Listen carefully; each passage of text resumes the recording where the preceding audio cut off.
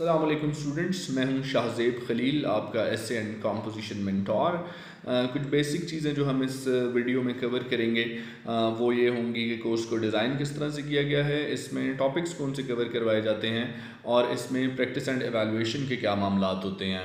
First and foremost अगर मैं course की बात करूँ तो उसको डिज़ाइन इस तरह से किया गया है be it essay be it composition कि वो ना सिर्फ़ आपके सी एस एस एग्ज़ाम्स का जो रिटर्न एग्ज़ाम है, उसके लिए आपको प्रिपेयर करता है, बल्कि हमारे जो तमाम के तमाम जो प्रोविंशियल मैनेजमेंट सर्विस के एग्ज़ाम्स होते हैं डिफरेंट प्रोविंसेस के, वो उनकी रिक्वायरमेंट्स को भी मीट करता है। एडिशनली जो आपके वन पेपर एम के जो एग्ज़ाम होते हैं, उसमें भी वो आपको हेल्प आउट करता है। प्लस जब वो आप क्वालिफाई करके जब उसका डिस्क्रिप्टिव एग्ज़ाम आता है पर्टिकुलरली इंग्लिश के पोर्शन का, वो उसमें भी आपको हेल्प आउट करता है और उसके लिए भी आपको प्रिपेयर करता है। तो ये सिंगल कोर्स को इस तरह से डिज़ाइन किया गया है कि जिस मर्ज़ी किस्म का आप जो है ना गवर्नमेंट जॉब्स के एग्ज़ाम दे दें, वो उसके लिए आपको तैयार कर देता है। नंबर टू जो एक बड़ी कॉमन क्वेरी आ रही होती है, वो ये है कि जी आप कौन से टॉपिक्स कवर करते हैं पर्टिकुलरली एस राइटिंग में?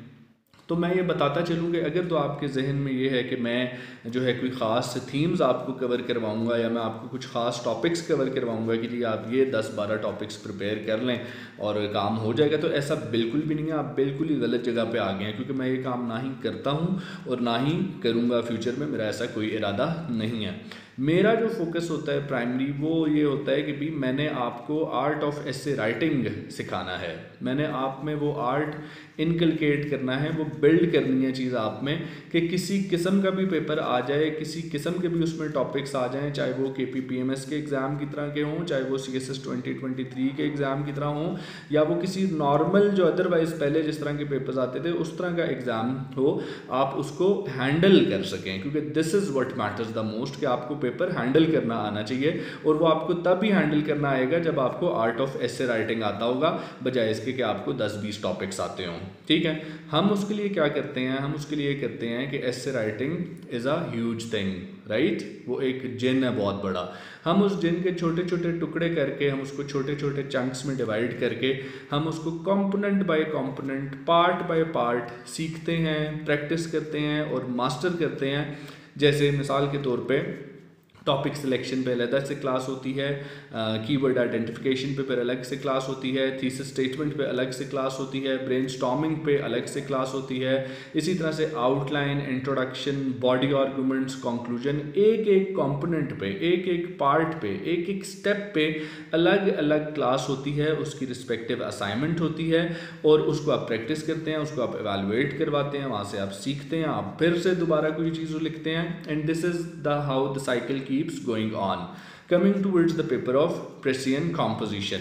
prescient composition में भी क्या किया जाता है कि एक तो वो सिलेबस है जो कि एफपीएससी ने आपको बताया हुआ है जी कि अभी ये ये ये टॉपिक्स आपने कवर करने हैं। लेकिन वो थोड़ा सा वेग है इन नेचर ठीक है? वो बहुत ज़्यादा डिटेल नहीं है। उसको मज़ीद खोला गया है और उसको इस तरह से खोला गया है कि फिर वो तमाम पेपर्स जिस भी किस्म के, चाहे वो पी हो, चाहे वो सी एस एस हो, चाहे वो डिस्क्रिप्टिव टेस्ट हों, वो उसकी रिक्वायरमेंट को पूरा कर लेते हैं। उसके लिए उसमें क्या क्या कवर करवाया जाता है? प्रेसी एंड कॉम्प्रीहेंशन वो तो ऑब्वियसली हर पेपर में आ ही रहा होता है तो उसको कवर करवाया जाता है। देन हम सेंटेंस करेक्शंस को बहुत डिटेल में करते हैं। मैं तमाम के तमाम पास्ट पेपर्स आपको सॉल्व करवा देता हूँ सेंटेंस करेक्शंस के, जिसमें सेंटेंस करेक्ट करेक्ट वर्जन क्या है सेंटेंस का? वो तो पता लग ही जाता है, वो लीस्ट इंपॉर्टेंस की बात होती है। मोस्ट इंपॉर्टेंट उसमें ये होता है कि ये जुमला इस तरह से ठीक कैसे हुआ है? What is the principle behind what is the logic behind क्योंकि जब वो प्रिंसिपल और लॉजिक आपको पता होती है और साथ ही आप वो जुमला भी करते हैं तो आपके लिए फिर जो है सेंटेंस करेक्शन जो है वो पीस ऑफ़ केक होता है, वो इतना बड़ा मसला नहीं होता। ठीक है?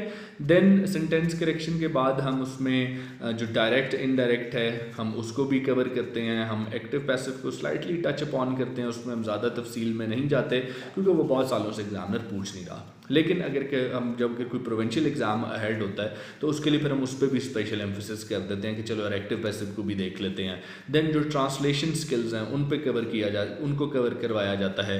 पंक्चुएशन मार्क्स के सॉलिड नंबर होते हैं। सॉलिड नंबर होते हैं पंक्चुएशन मार्क्स के या प्रपोजिशन वगैरह के। उन पे जो है सेपरेट आपको क्लासेस करवाई जाती हैं, फिर उनकी रेगुलर प्रैक्टिस होती है। तमाम पास पेपर्स आप सॉल्व कर देते हैं।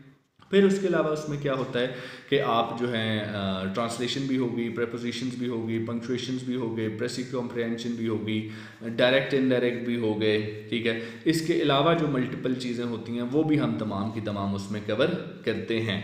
जब ये जैसे जैसे चीज़ें कवर हो रही होती हैं साथ साथ इनकी प्रैक्टिस के लिए डिफरेंट सवाल भी आ रहे होते हैं डिफरेंट एक्सरसाइजेज भी हो रही होती हैं जो कि आप करते हैं और वो वैलिड होती हैं टिल योर अपकमिंग एग्ज़ाम चाहे वो सीएसएस का हो, चाहे वो पीएमएस का हो, उसमें उसको कवर करवाया जाता है। अच्छा भाई लेटर एंड एप्लीकेशन जैसे पंजाब पीएमएस में वो काफ़ी इंपॉर्टेंट होता है तो उसको भी कवर करवाया जाता है। अभी जैसे पंजाब पीएमएस बिल्कुल सर पे है, ये इन जून के फ़र्स्ट जो टेन डेज़ हैं, उसमें आपका एग्ज़ाम जो है वो स्टार्ट हो जाएगा।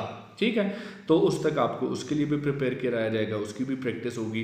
तो this is how we take up our course of particularly of essay and composition और इस तरह से इसको कवर करवाया जाता है।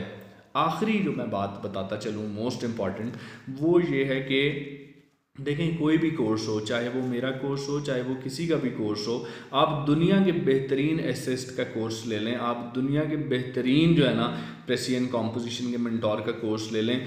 जब तक उसमें आपकी, आप काम नहीं करेंगे, आपका काम एवेलुएट नहीं होगा और मैं चेक नहीं कह रहा। चेक जो है वो तो बस टिक लगा के नंबर दे देना बड़ा आसान काम होता है। मैं चेक नहीं कह रहा जब मैं एवेलुएट का लफ्ज़ इस्तेमाल कर रहा हूँ कि जब तक आपका काम एवेलुएट नहीं होगा, आप उस फीडबैक से सीखेंगे नहीं तो तब तक आपके जो डिज़ायर्ड रिजल्ट्स हैं, जो आप चाहते हैं कि आएँ, वो नहीं आएँगे। ठीक है क्लासेस जो हैं वो ये नहीं है कि क्लासेस पे क्लासेस लिए जाओ, इसकी भी क्लासेस ले लो, उसकी भी ले लो, तीसरे की भी ले लो, चौथे की भी ले लो और काम कुछ ना करो, अगर वो कर भी लो तो वो एवेलुएट ना हो रहा हो। And evaluation are what distinguish me from the rest of the peoples की जिस तरह से मैं एवेलुएशन करता हूँ, जितनी वो क्रिटिकल होती हैं, जितनी वो डिटेल्ड होती हैं, वो आप तमाम लोगों के सामने ही होती हैं। तो this is all about the basics of what I cover in the courses of essay and composition with Shahzeb Khalil I hope कि आपने इससे काफ़ी चीज़ें सीखी होंगी और आपको समझ आ गया होगा कि एग्जैक्टली exactly कोर्स को किस तरह से टेकअप किया जाता है. थैंक यू सो मच अल्लाह हाफिज़.